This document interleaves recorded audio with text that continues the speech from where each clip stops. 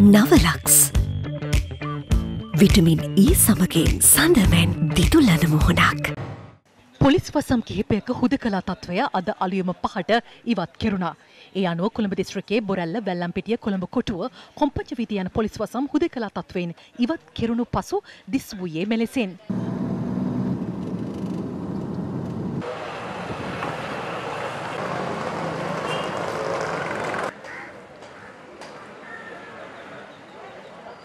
කෙසේ වෙතත් බොරැල්ල පොලිස් වසමේ වනාත මුල්ල සහ කොම්පඤ්ඤ වීදියේ වැක්කන්දයන ග්‍රාම නිලධාරී වසම්වල නැවත දැනුම් දෙනතුරු හුදෙකලා තත්ත්වයක් ක්‍රියාත්මකයි.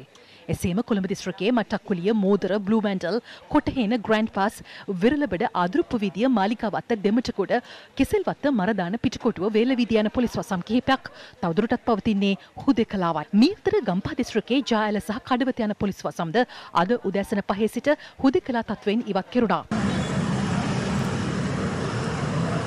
කෙසේ වෙතත් මීගමුව රාගම වත්තල පෑලිගුඩ සහ කැලණිය යන පොලිස් වසම් තවදුරටත් හුදකලා තත්ත්වයේ පවතින අතර කළුතර දිස්ත්‍රික්කයේ බණ්ඩාරගම පොලිස් වසමට අයත් ග්‍රාම නිලධාරී වසම් හතක් තවදුරටත් හුදකලා තත්ත්වයේ පවතින බව සඳහන්. මේ අතර අටලුගම ගම්මානය අද ගුවන් හමුදාවේ නිරීක්ෂණයට ලක් වුණා. එමෙන්ම අටලුගම ගම්මානයට මායිම් වන කැපූ ඇල පැය විසි හතර පුරා ශ්‍රී ලංකා පොලිස් නාවික අංශයේ විශේෂ නිරීක්ෂණයට යොමුව තිබෙනවා.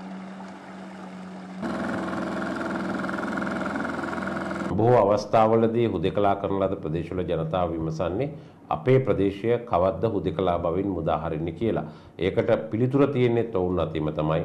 ඔබ සංචාරණයේ සීමා කරමින් ඔබේ ප්‍රදේශයෙන් ආසාදිතයෝ බිහි වෙන්නේ නැතුව හිටියොත් ඉතා ඉක්මනින් ඒ ප්‍රදේශය හුදෙකලා බවින් මුදාහරින්නට අවස්ථාවක් ලැබෙනවා. ඉතින් ඒ නිසා අපි මේ ප්‍රදේශවල ජනතාවගෙන් ඉල්ලා සිටිනවා යම් අපහසුතා තියෙනවා, අඩුපාඩු තියෙනවා. නමුත් ඒවා රජය උත්සාහ කරනවා යම් මට්ටමකින් නැවත ප්‍රතිසම්පාදනය කරන්න.